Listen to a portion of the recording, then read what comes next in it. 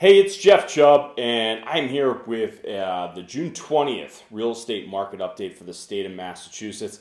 Uh, a lot's been going on. Uh, you know, interest rates have been climbing. They went up a lot, um, real fast, and we've ultimately seen some of that um, overlay in, in the data that we saw from, from the sales last week. So the best and first place that we should probably start with is inventory. So inventory specifically for single family homes in the state of Massachusetts was 4,957 units. Um, put this kind of a little bit in perspective, during the 2007-2008 uh, downturn, right, we had about 38,000 units on the market, 37,000, 38,000 at the peak. Um, so that's one end of, end of the spectrum versus the other end is um, in February, end of February this year, we had 1,902 units on the market from me keeping track of data. So those are the two ends of the perspective, you know, the, the pendulum here, and, and we've started to see it swing a little to the point where at 4,957 units currently on the market specifically for single family homes.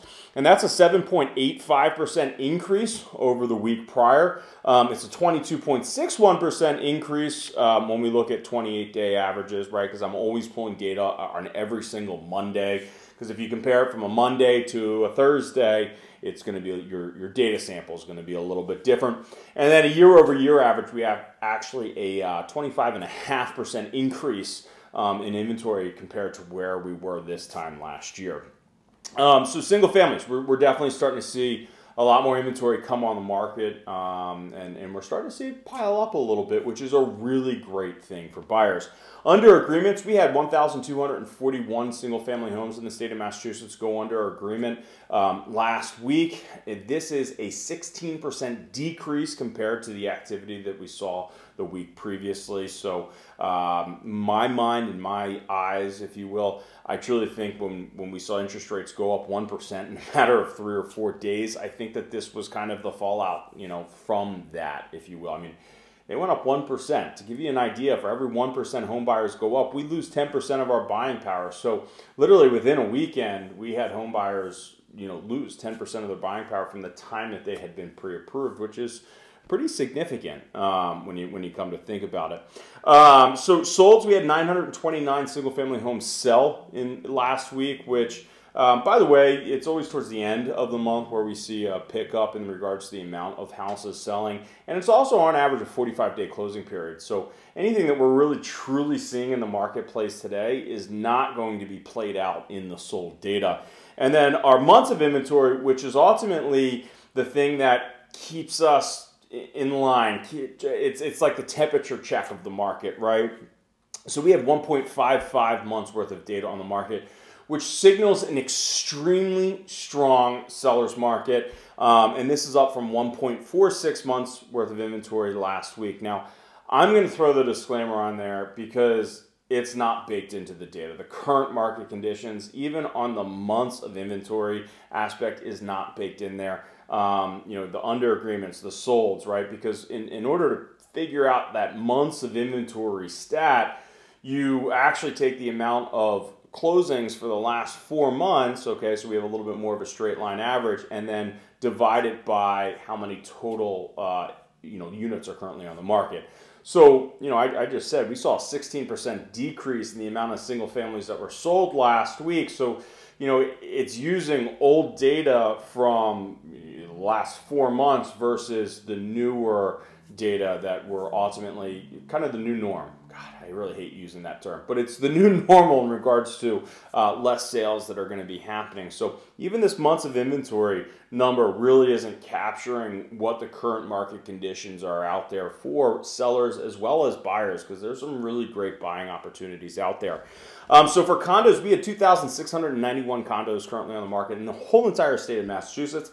This is an 8.29% increase compared to where we were uh, on Monday of last week. 26.9%, uh, so essentially 27% increase uh, over, over where we were just 28 days ago. And it's actually 6.8% below inventory levels of where we were this time last year. So inventory for condos is actually still, even with our you know pretty drastic increases in the amount of inventory in the market, are still below where they were um, just one year ago.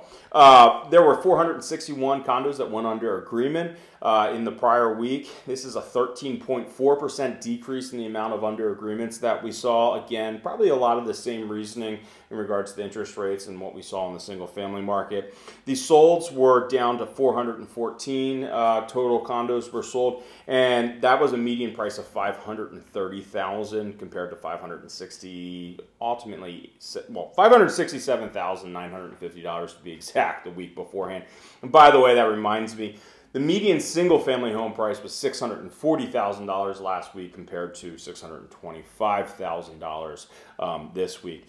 And then our months of inventory uh, for condos um, was 1.45 months worth of inventory, and this is an increase from just 1.32 months last year, or excuse me, last week. So, you know, really what's happening here are the months of inventory, while they're both for single family and condos really signaling a strong seller's market, they're growing pretty rapidly. And they're going to continue to grow pretty rapidly because, again, this is not the true that that that snapshot, if you will, that that indicator is not a really good tool for what it's like out there. Um, you know, I've I I started. Well, I started in 2002. I started up here in Massachusetts in 2008. Um, so worst market since the Great Depression, which you know I think there's a lot to be said in regards to that, knowing that experience, how to sell houses um, in that in that type of climate, right? There's there is a skill, there's a big skill there, um, which we're ultimately going to need to start seeing more and more of. If you're on the seller's side, that that you need to be looking more at the marketing program. You can't your expectations need to be in line that your house isn't just going to sell that first weekend. It's going to take some time for that market to absorb your house and ultimately for that market to create that buyer. And that's the issue is that we're not seeing a whole lot of new buyers come to market the sales that are happening today, from my eyes and from what I can see, are more the the hangover buyers, if you will, the buyers that came into the market two, three, four, six, ten months ago, right? Those are the people that are actively buying houses.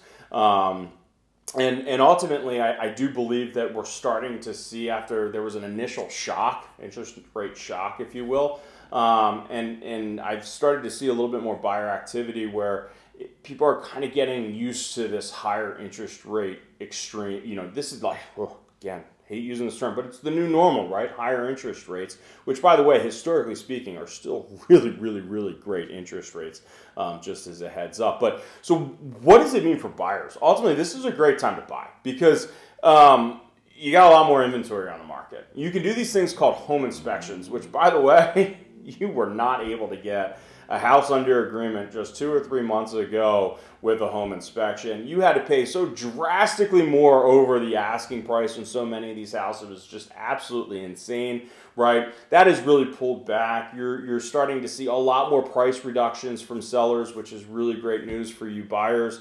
Um, you know, a home inspection is more the standard. Home, home sale contingencies, baby, they're coming back and they're coming back strong, right? That normal market is coming back where ultimately buyers have just gotten the, the living daylights beaten out of them for the last couple years. And, and the pendulum's swinging where, where they're starting to get more and more power in this marketplace. Um, again, it hasn't shifted over to a buyer's market that from what the inventory, or excuse me, from what the numbers show.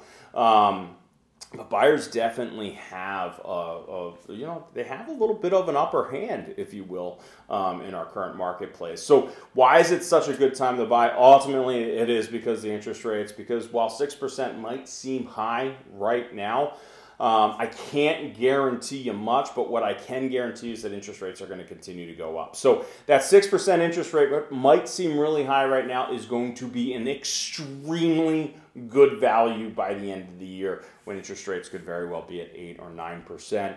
Um, and, and, and to give you an idea, you know, if you're locking in your payment today at that 6% interest rate, uh, or 6.25% interest rate, in order, if interest rates floated up to call it 8.25%, in order for you to have that same mortgage payment that you could today and interest rates floated up to 8.25%, you would need home prices to come down a, a little over 20%. And, and that's just not going to happen. So um, that's ultimately why it makes so much sense to buy a house today, lock in that 6% rate because it's giving you the.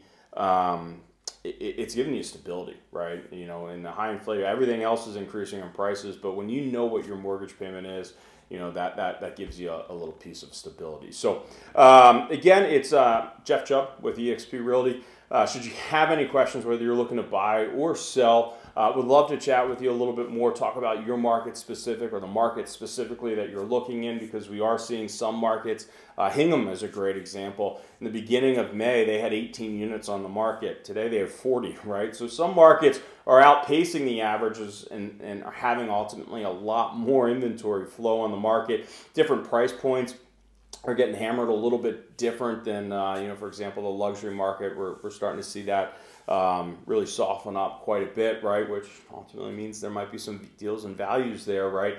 Um, so, you know, it's a little bit of a confusing time. I get it. That's why I'm here. Sold over a thousand homes. Um, have been doing this for, for nearly two decades. Um, and ultimately, I'm here to answer any of your questions, whether you're a current homeowner and just maybe a little bit scared of the current market conditions. You shouldn't be, by the way. Um, you know, home ownership is literally the best place that you can be in a high inflationary environment. From you know, it's the best asset class to be in. So, uh, really got long here at the end. I'm going to continue to do this week over week. Uh, but if you got any questions, you know how to find me. Have a great day.